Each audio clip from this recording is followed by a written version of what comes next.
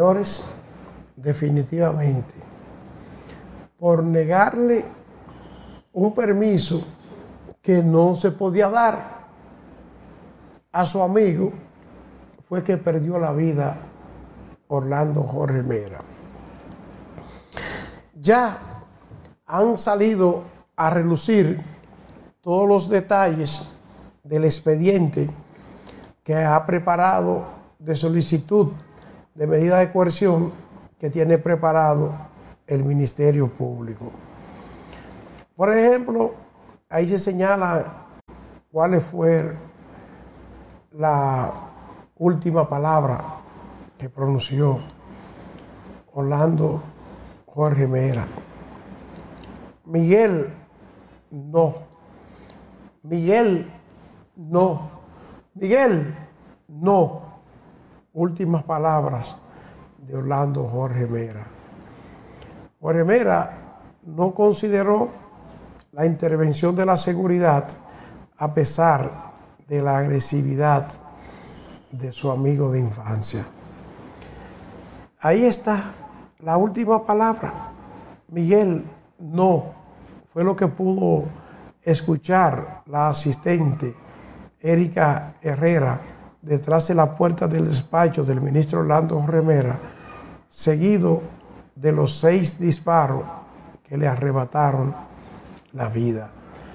Aún con la actitud prepotente y agresiva con la que irrumpió Fausto Miguel de Jesús Cruz de la Mota, el asesino confeso, en las instalaciones del Ministerio de Medio Ambiente el pasado lunes 6 de junio, Orlando Jorge Mera permitió la interacción con él sin seguridad de por medio. Se trata de su amigo de infancia, que gozaba de su confianza. Según el expediente, el imputado visitaba constantemente el ministerio, sin cita y solicitaba ser atendidos por el ministro. Llevaba una estela de atropellos al personal de medio ambiente. Incluso Jorge Mera llegó a llamarle la atención en algunas ocasiones, pero este conforme al expediente, se creía con el derecho de mandar en esa institución bajo el argumento de que había que resolverle y que no se le estaba dando la atención que merecía.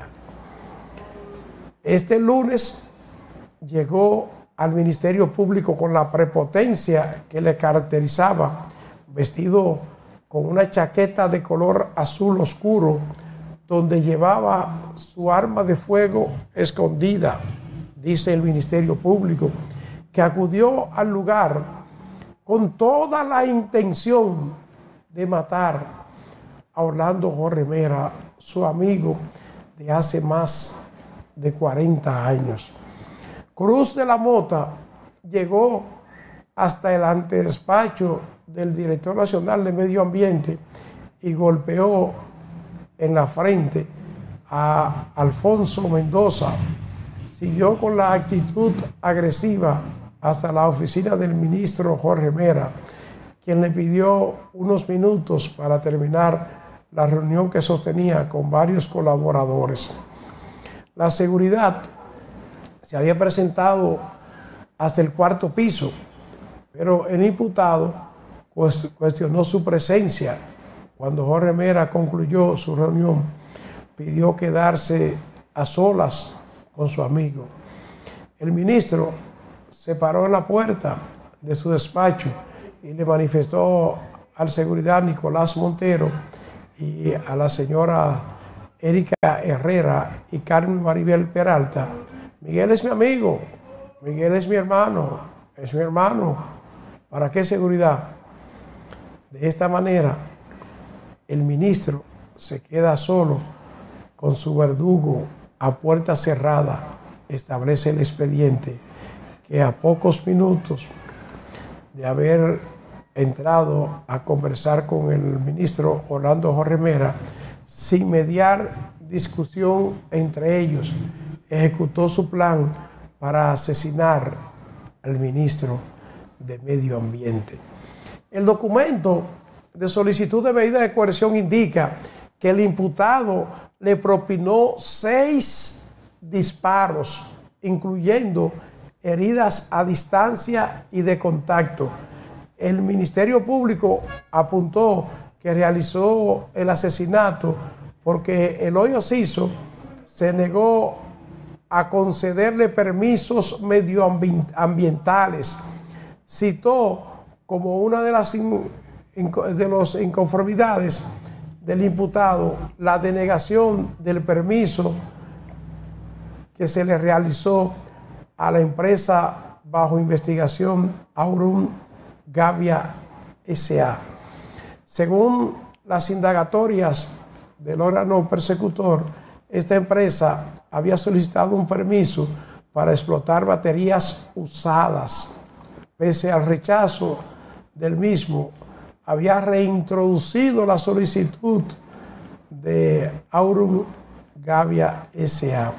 Las evidencias muestran que el imputado había estado tratando de que se le, se le otorgaran permisos múltiples, pero se quejaba de que de forma airada, de que no le resolvían nada e incluso esta situación provocó que hace menos de un mes amenazara al consultor jurídico del ministerio, Edilio II Florian Santana. Hace campaña, hice campaña y no me resuelven. Fue la queja constante de, los imputados. Este jueves eh, es su comparecencia ante un juez de la Oficina de Atención Permanente del Ministerio Público y se va a pedir un año de prisión preventiva para este hombre. ¿Y por qué tanto tiempo? Si eso está claro, él planificó y mató a Orlando Jorge Mera. ¿Y qué hay de este señor? ¿A qué se dedicaba?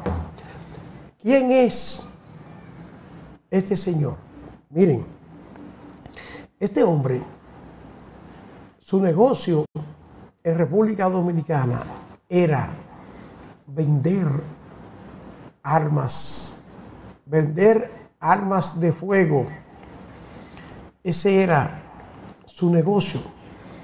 Él era importador de armas de fuego, traía armas para venderla y llegó a hacer negocios con la Policía Nacional.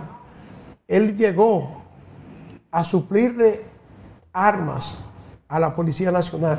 Pero hace un tiempo, mucho tiempo hace, que ya habían suspendido ese negocio de comprarle armas en la Policía Nacional y ya no se estaba vendiendo.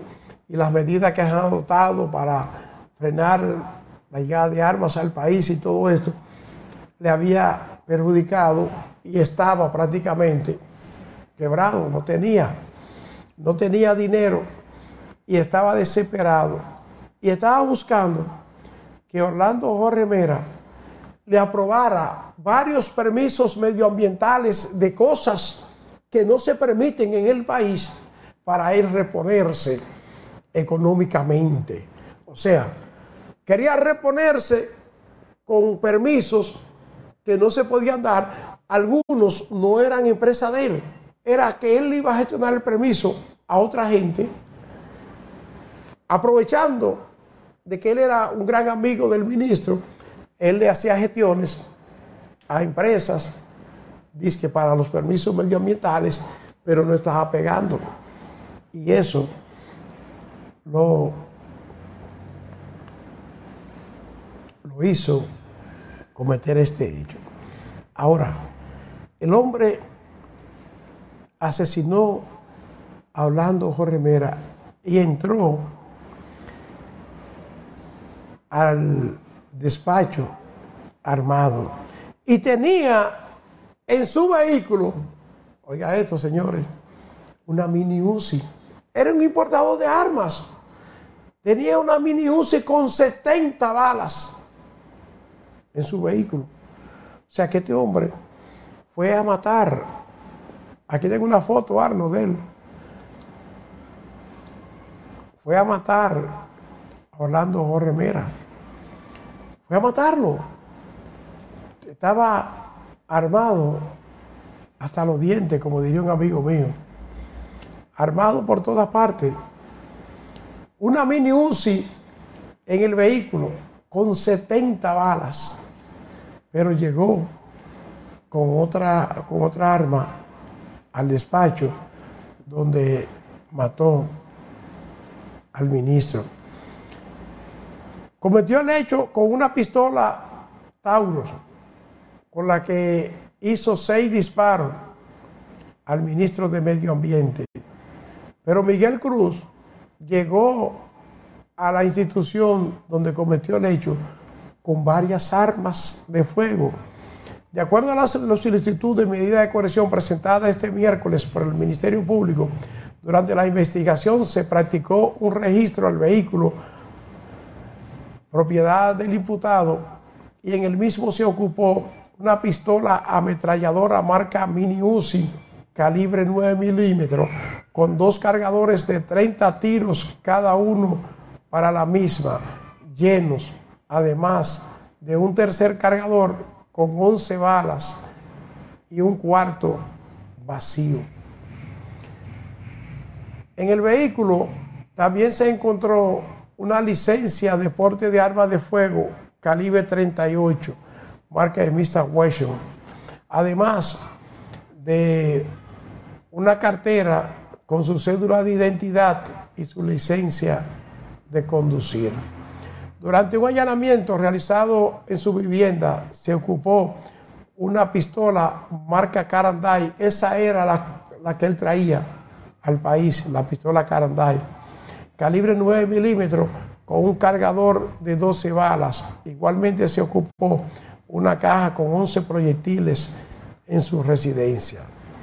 La armería de su propiedad, Armería Carandai, también fue allanada en la misma se ocuparon dos escopetas calibre 12 milímetros, marca Maverick, también 20 cartuchos calibre 12, 6 proyectiles para revólver calibre 38, 13 proyectiles para pistola calibre 32, además de un proyectil para armas largas. El Ministerio Público, entre otros puntos, acusa al imputado de violar los artículos de la ley sobre control y regulación de armas, municiones y materiales relacionados. Ahí tiene tremendo problema porque además de la muerte ahora tiene problema de porte y tenencia de armas ilegal en este país. Ese señor planificó el asesinato de Orlando Jorge Mira. No fue que fue fortuito, que se incomodó la discusión, no, no. Él fue a matarlo y lo mató. Seguimos con más.